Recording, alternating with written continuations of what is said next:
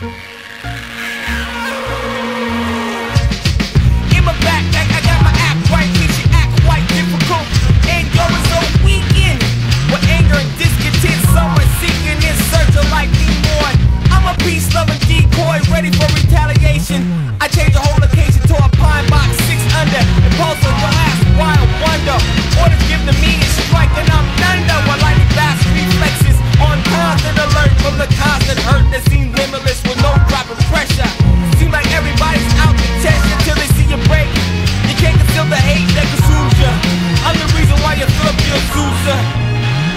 your old lady at the tilt